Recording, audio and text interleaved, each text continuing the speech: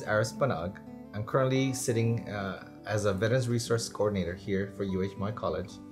Uh, pro- I provide some guidance here for our veterans regarding some of their benefits, some of the things that they need to do to create a streamlined uh, a way for them to come into the UH system using their educational benefits post 9-11 or through the air or army national guard or reserve process as well.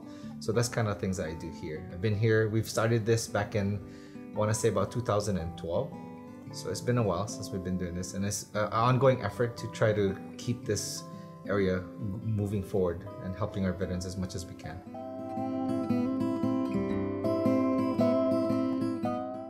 Our capacity here will definitely be cut in half.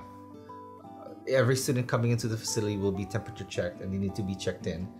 Uh, and they have to do that quick survey to make sure that they haven't had any prying symptoms or anything like that.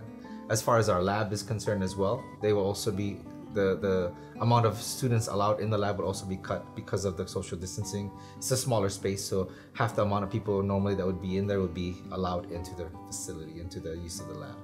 So that's the biggest difference as far as space wise here. As far as what else we would do, would still fairly remain the same. Currently, we run this program here uh, under our current grant at Kaho'oia Mai Ana.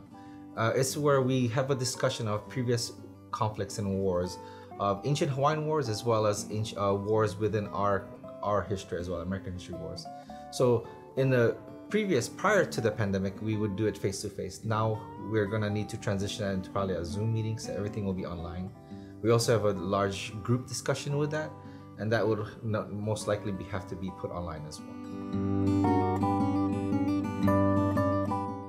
So right now they can come in and knock on the door just come in as they normally would and they would be screened at the front by myself or one of our monitors they would be temperature checked and they would have to do a quick survey that they same survey that they would have to do whether entering a classroom uh, and just to make sure that they're not currently symptomatic or of any kind.